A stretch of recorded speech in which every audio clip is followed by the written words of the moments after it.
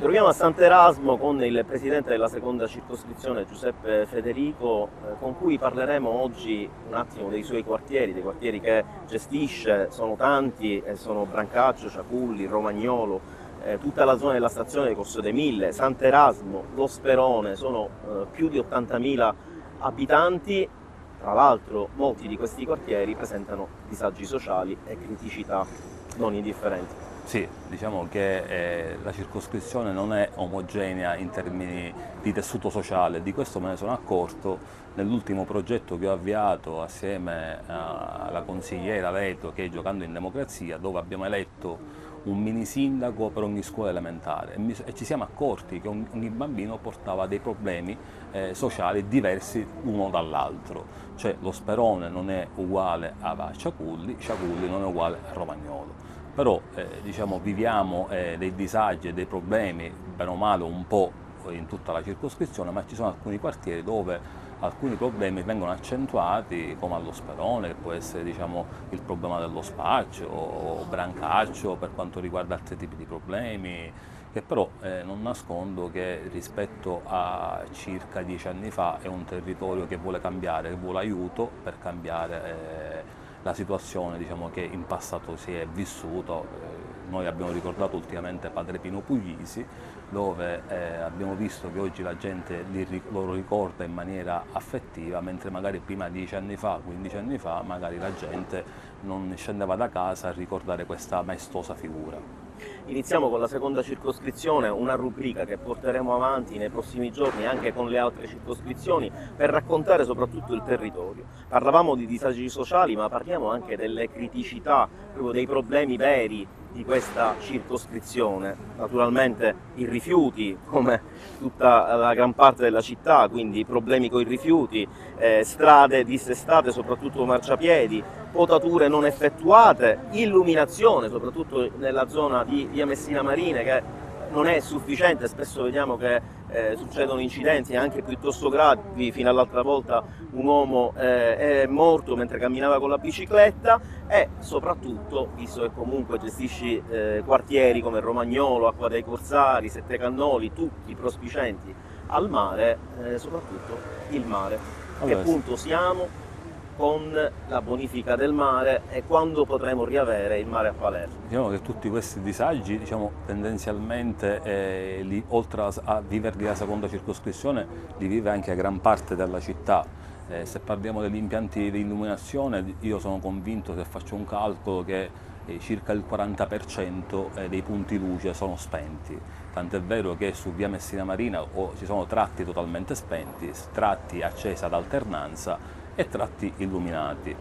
Io sono convinto anche in un confronto che ho avuto con l'AMG... Da cosa eh, dipende questa alternanza? Diciamo l'alternanza è, è, è, dovuta da, da guasti e da sovraccarichi, per cui l'azienda decide di fare l'alternanza. Sono eh, guasti irreparabili? sono guasti dove attendono diciamo, gli investimenti da parte del comune o addirittura l'AMG è disposta ad attendere diciamo, che venga fatto un nuovo impianto di illuminazione. Se Però parliamo, anni che se parliamo, se parliamo su via Messina Marina, l'azienda mi dice che tecnicamente ancora esistono i cavi di carta, cioè io non sono un tecnico, ma i cavi di carta si mettono negli anni 60, ciò significa che appena si bagna un cavo si spegne tutta un'intera strada. Eh, oggi è un disagio grave perché la notte la Bimessina Marina, alcune strade diventano quasi pista da Formula 1 e sino alla, la settimana scorsa un ragazzo nell'attraversare con la bicicletta è morto. Ritornando ad altri disagi... C'è un progetto per... C'è un progetto, sì. io insisto su questa cosa, c'è un progetto per ripararla? Sì, su via, su via Messina Marina c'è un progetto di un impianto nuovo io da quando mi sono insediato ho scoperto che circa 20 pali di illuminazione che va a illuminare un quartiere non si sono, non si, non, eh, non si sono accesi soltanto perché eh, il Coime non, fa, non, ha fatto uno scavo di 8 metri lineari. Ci sono delle cose che sono assurde sentirle, cioè tenere spenti per sette anni 120 pali di illuminazione perché non viene fatto lo scavo di 8 metri lineari per mettere il cavo. Ci sono cose che veramente vanno sull'assurdo, però piano piano, eh, guardando anche il bilancio del comune, i, i, capitoli dove sono stati messi i soldi per quanto riguarda investimenti, ci auguriamo che nei prossimi anni possano iniziare i lavori per nuovi impianti di illuminazione. La questione dei rifiuti la conosciamo la tutti, dei rifiuti la, stiamo vivendo, la stiamo, è un po' un problema la, comune a tutta la, la stiamo vivendo eh, proprio adesso, il problema dei rifiuti, c'è un'avvertenza tra l'azienda e il comune eh, dove chiede l'azienda più soldi, naturalmente i mezzi guasti, poco personale, però oggi chi, chi, piange le conseguenze sono i cittadini.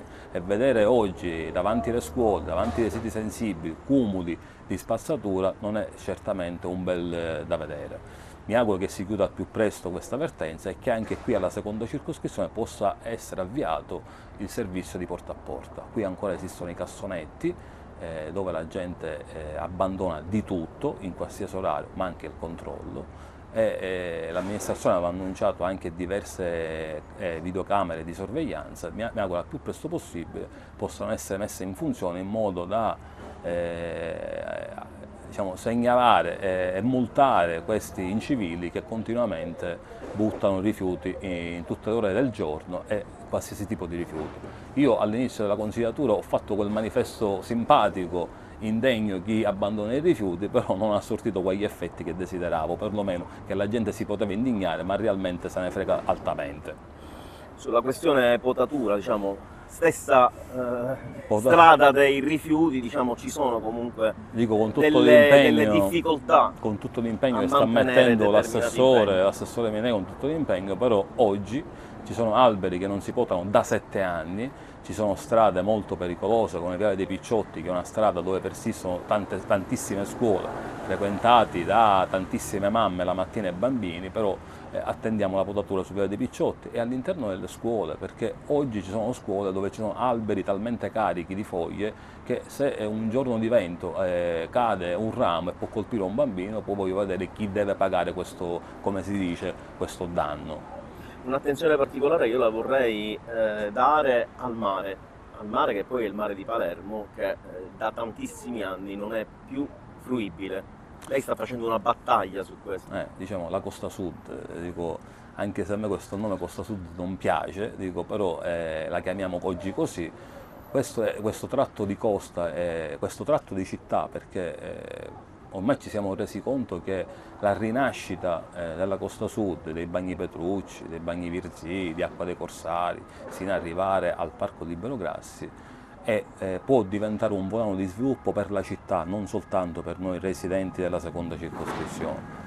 Adesso si inizia a toccare un po' con mano questi famosi progetti del PNNR, del collettore fognario che renderebbe eh, balneabile il mare, mi auguro a quanto prima eh, questi possano essere... Quanto prima? Quando?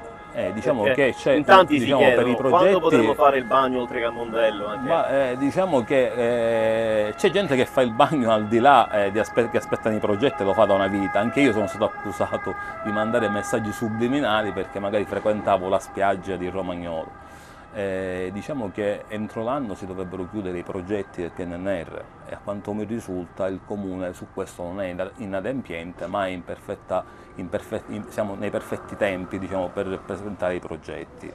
Diciamo che, come dicevo poco fa, eh, la rinascita di questo tratto di costa sembra toccarla con mano, anche il sindaco spesso ne parla eh, e mette ai primi posti diciamo, la rinascita della costa sud, di questa parte di Romagnolo di questa parte di città.